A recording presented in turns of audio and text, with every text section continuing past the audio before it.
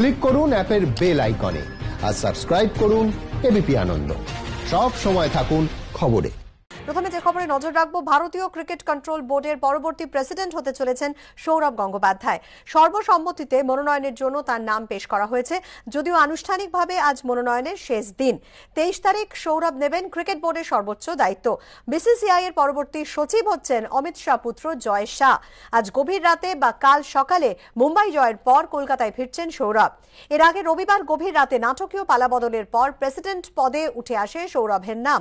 ব্রিজেশ পটেলের নাম প্রায় ঠিক হয়ে যাওয়ার পরেও রাতের এক বৈঠকে সব হিসেব উল্টে দেয় বলে খবর সূত্রের। সৌরভই প্রথম কোনো প্রাক্তন অধিনায়ক যিনি বোর্ডের সর্বোচ্চ পদে বসবেন।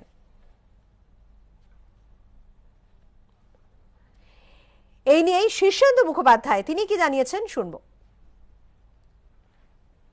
সৌরভ একটা এমন একটা চরিত্র যেটা বাঙালি হয়েও অনেকটা আন্তর্জাতিক বলতে পারি।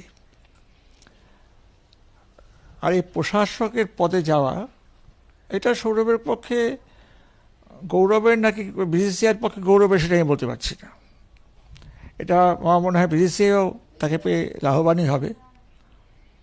যদিও খুব বেশি সময়ের জন্য নয়, তাহলেও সৌরভ আমার মনে হয় সবচেয়ে যোগ্য প্রার্থী ছিলেন, সবচেয়ে যোগ্য।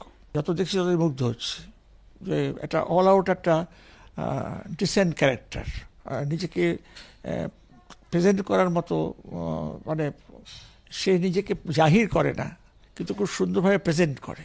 এটা আমার খুব ভালো লাগে। আর এত বুদ্ধিমান যে তাকে প্রশাসক হিসেবে পেলে যে কোনো সংগঠনে লাভবান হবে।